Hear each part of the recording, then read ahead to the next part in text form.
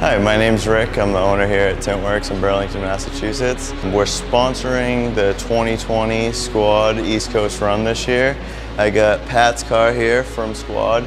We just installed 25% ceramic on it. It totally changes the look of the car.